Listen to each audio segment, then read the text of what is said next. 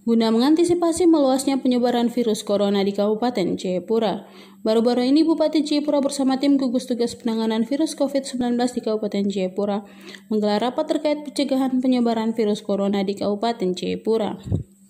Bupati Jayapura Matius Awaito mengatakan, pergerakan pencegahan penanganan virus COVID-19 harus lebih masif lagi. RT, RW, dan kepala kampung harus terlibat aktif dalam pencegahan wabah virus corona ini supaya di masing-masing wilayah dapat memberikan informasi pentingnya pencegahan wabah virus corona di Kabupaten Jayapura. Jadi nanti kita evaluasi supaya eh, pergerakan harus lebih masif lagi. Hmm.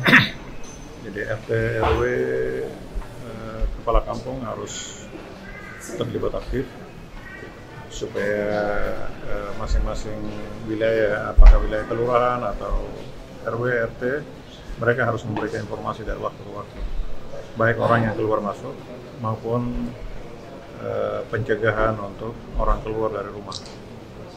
Nah itu harus ada laporan dari waktu ke waktu. Kemudian juga tempat-tempat rekreasi di mana e, wilayah kampung atau RT RW itu yang punya tempat. Saya pikir itu mereka harus kasih laporan bagaimana animo orang ke situ apakah masih banyak, nah masih banyak berarti kita harus lakukan langkah-langkah pencegahan lagi. Eh, kemudian toko-toko dan kios pasar kita batasi waktu bukanya. Saya kira buka bebas. Karena itu, itu juga dikontrol oleh tim. Bupati Jayapura juga menghimbau kepada pemilik tempat wisata di Kabupaten Jayapura. Untuk sementara waktu tidak membuka lokasi wisata tersebut guna pencegahan penyebaran virus corona dan untuk toko-toko dan kios di Kabupaten Jayapura. Dengan surat edaran Bupati Jayapura, jam operasional akan dibatasi. Waktu beroperasi dari jam 8 pagi hingga jam 12 siang setiap harinya.